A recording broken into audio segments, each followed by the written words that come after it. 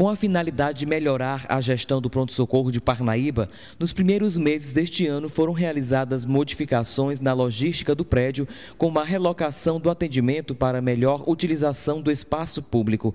Outra medida apresentada por João Sérgio de Souza Moura, superintendente municipal de urgência e emergência, foi a presença de um médico a mais nos dias de quartas-feiras e finais de semana. O aumento no atendimento saiu da média de 40 a 80 pessoas por dia para 120 a 240. Quanto às unidades do Serviço de Atendimento Móvel de Urgência, o SAMU, os atendimentos chegam entre 15 e 20 pessoas ao dia em casos clínicos. Olha, nós estamos focados justamente na melhoria do atendimento ao usuário do SUS, a população, que é quem garante, através de seus impostos, os recursos para que possa funcionar a instituição.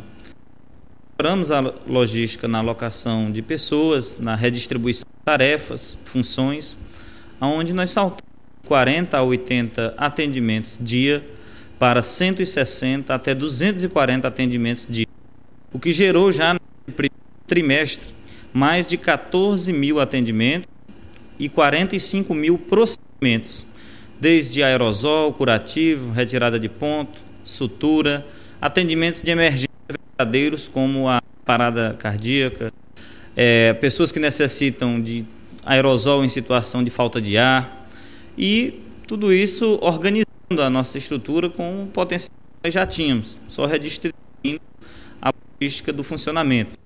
A partir do segundo semestre, o objetivo da Superintendência de Urgência e Emergência está em utilizar os recursos humanos para receber melhor o paciente no atendimento. Isto já é percebido pela aposentada Helena Rodrigues de Souza Silva, que estava com um parente em observação. Foi ótimo, maravilhoso.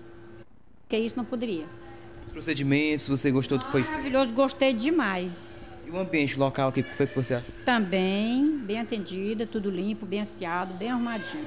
E a organização dos que vieram, que ele atende? Funcionário maravilhoso, um atrás do outro.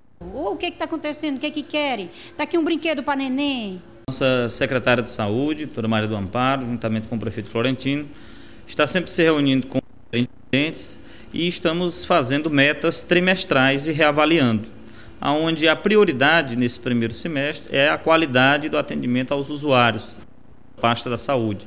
A partir do segundo semestre é que poderemos estar implementando mudanças físicas e ampliações de unidades de saúde. Ao desempenho de um serviço de saúde, passa antes pelo nível da melhoria operacional da logística e depois por princípios de humanização no atendimento.